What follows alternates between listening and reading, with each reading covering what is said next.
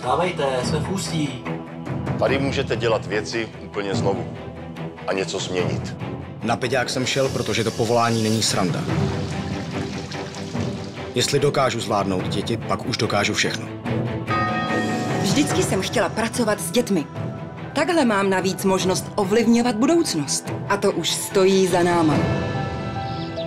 Byla to prostě výzva, tak jsem šel do toho.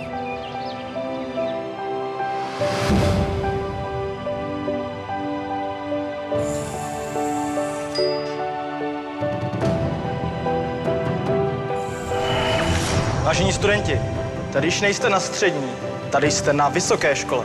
Tak na to jsem zvědavá.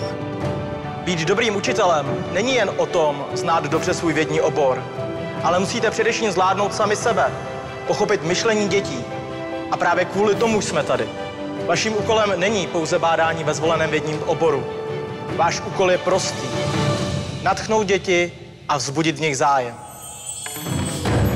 Vždycky mi říkali, že jsem hodně ambiciozní a já se rozhodl jít do toho po hlavě. V našich rukou leží budoucnost. Tady nám pomáhají se na to pořádně připravit. English can be playful and children like it. Naučme děti číst a rozumět knížkám.